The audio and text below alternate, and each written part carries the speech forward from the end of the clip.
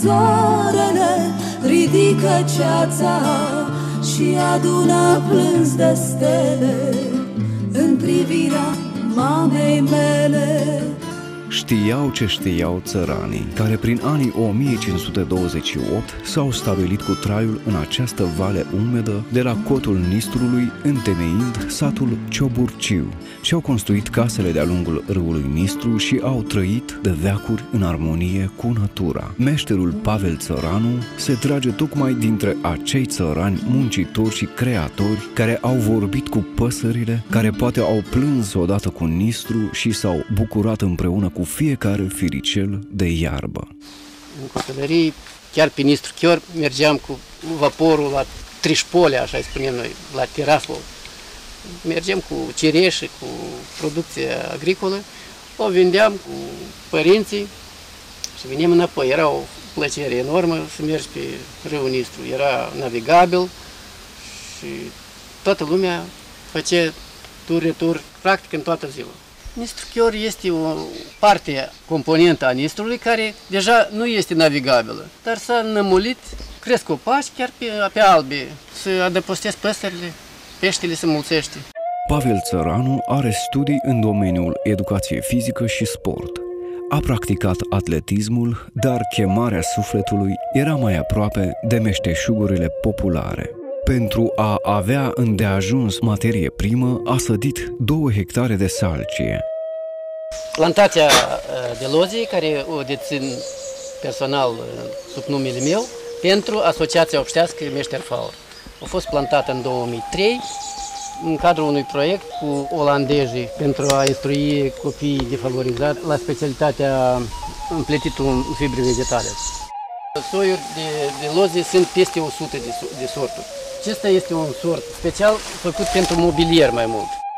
După ce dă primele geruri și cade frunza, lozia se taie, se depozitează și se folosește pentru a învăța și pentru a, a confecționa uh, ceea ce trebuie din lozie.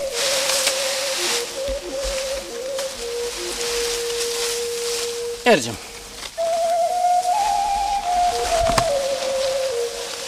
Satul Cioburciu este situat pe teritoriul zonei Ramsar, cea mai împădurită parte a Republicii Moldova, unde cel mai bine s-a păstrat flora și fauna, care prezintă un interes deosebit atât pentru oamenii de știință, cât și pentru doritorii de a se relaxa în sânul naturii.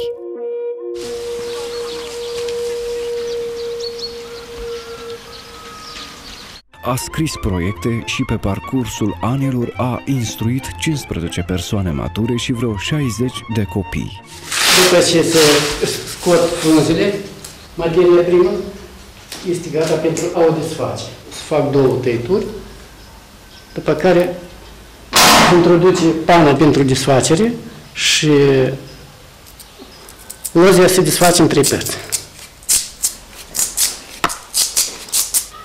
Se lasă să dezvânte, după aceea trece prin mașină specială, unde se uh, desparte mezul de, de lemn curat.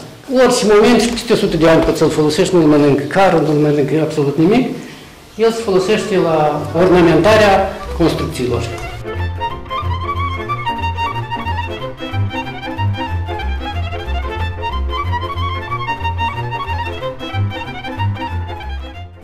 Iluzia a fost lucrată pretutindeni în spațiul nostru, dar uh, în anumite localități s-au format centre de împletire a ei.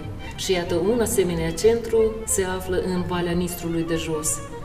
Este deosebit de important faptul că un continuator al acestui centru străvechi este domnul Pavel Țăranu, un meșter adevărat care știe să intuiască toate frumusețile aflate în diferite materiale, dar îndeoseb să dea expresie artistică acestui minunat material numit lozie.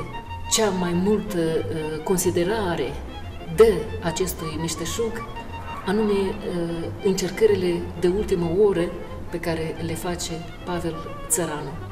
Să știți că nu este o depășire a atribuțiilor pe care îi le conferă meșteșugul. Nu.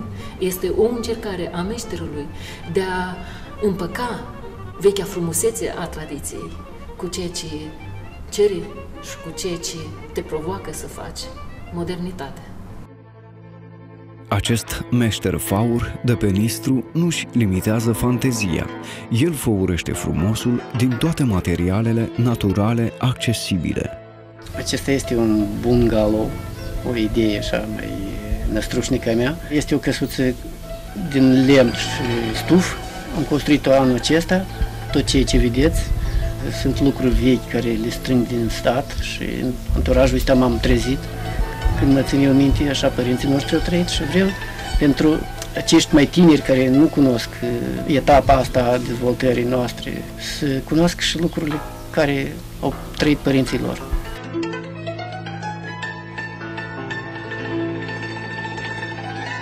O emisiune televizată despre meșteri populari i-a schimbat viața.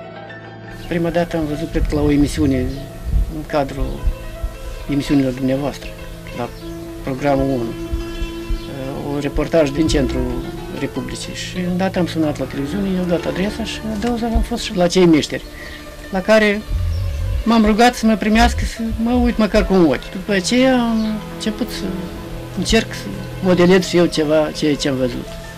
Și parcurs, ideea mi-a plăcut și am mers mai departe. M-am ocupat și dezvoltat această îndeletnicire.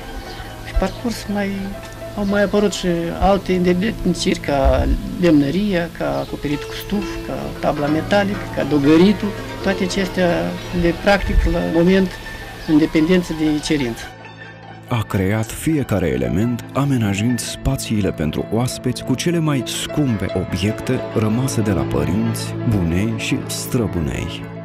Acestea sunt uh, niște elemente practic strânse de paturi produse aici la Ciobruci, 70-80 de ani în urmă. Țoluri, perătări, au fost meșteri în sat, bănuiesc eu, odată ce sunt așa lucrări. Asta este o lucrare făcută de soacră mea, rămasă ca zestre lui fiica, adică am luat soția cu zestre și nu exagerez, într-adevăr este o zestre. Pentru mine lucrurile acestea sunt mult mai importante ca ceea ce se, se produce azi.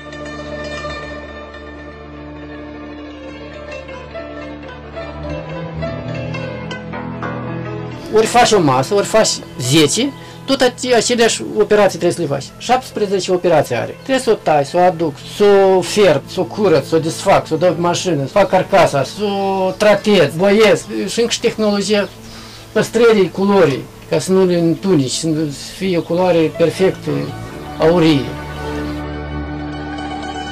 Lângă tata meu a trăit un moșneag foarte bătrân. Și la casa lui am găsit-o, în pod coșniță foarte veche, din papură. Bănuiesc eu că au fost meșteri aici la Cioburciu și care au lucrat în papură.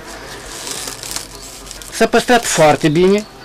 Ce se ducea în coșniță? La târg mergeau, la bazar, cum spunem la noi. Erau la modă.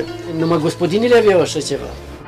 Printre multiplele calități ale meșterului este și capacitatea sa intuitivă de adaptare la noile cerințe ale timpului.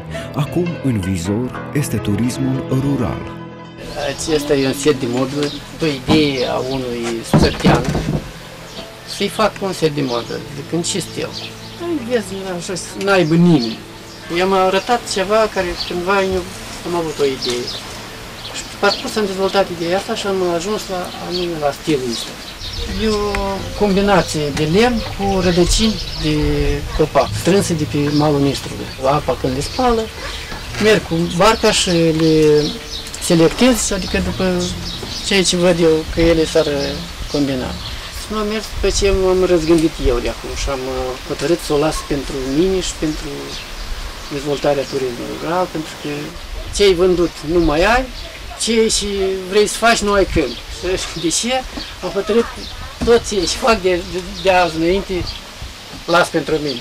Domnul Pavel este un adevărat uh, promotor al tradițiilor noastre naționale. Este un tezaur la care fantezia niciodată nu seacă, ba din contra, evoluează. El este primul care a făcut motocicleta Harley de care știe toată Moldova.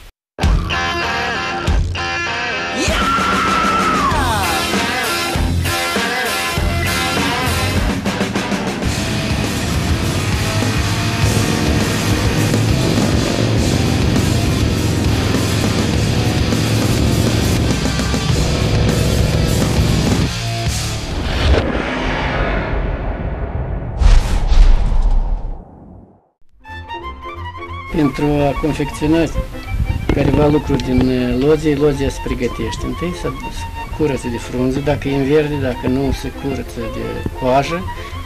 Deci, la baza bazelor este fundul. Acesta se face din 3 și din 4. Pe parcurs el să adauge alte loze.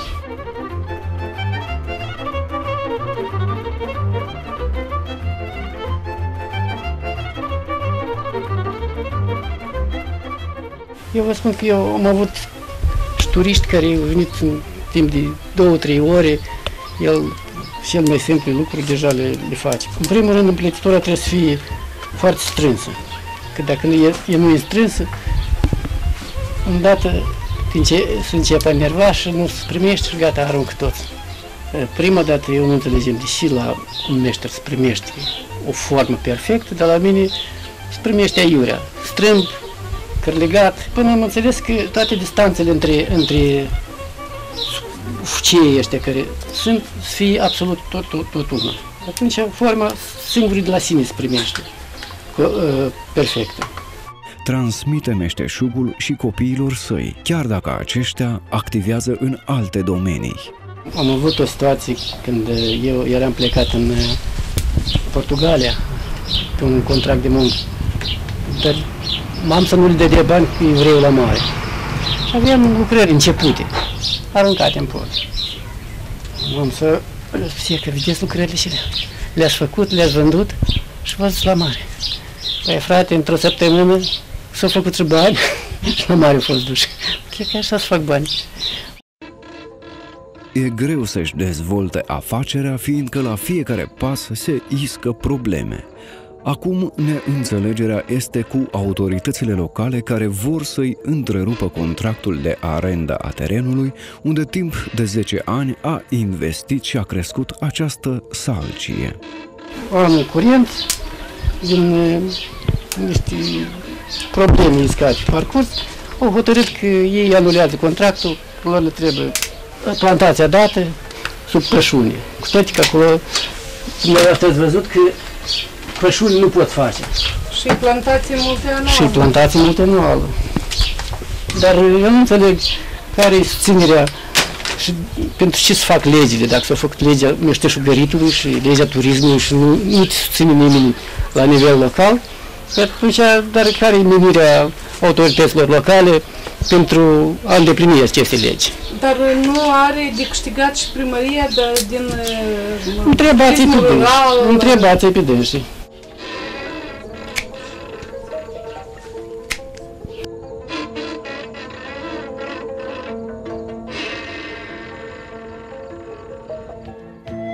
Cocostârcii erau considerați păsări sfinte. Ele aduc primăvara, aduc noroc și își construiesc cuiburile doar în preajma oamenilor buni. În fața atelierului meșterului popular Pavel Țăranu vin câteva generații de cocostârci. Cocostârcii sunt niște păsări deosebite, ca simbol a vinului moldovenesc și a prelungirii neamului pentru mine el e o pasăre inteligentă care se spune că aduce noroc. Acești cocostări sunt niște pui de în anul acesta, sunt 5 aici și 4 din coace. În total 13 cocori care făcutim a noștri. Ei nu ne părăsesc deja de 10 ani, de când ne-am făcut primele sporturi pentru, pentru cuiburi, ei se reîntorc an de an. Avem de gând poate la iarnă, dacă reușim, să mai punem încă două, trei cuiburi ca să facem mahalau cu costârții.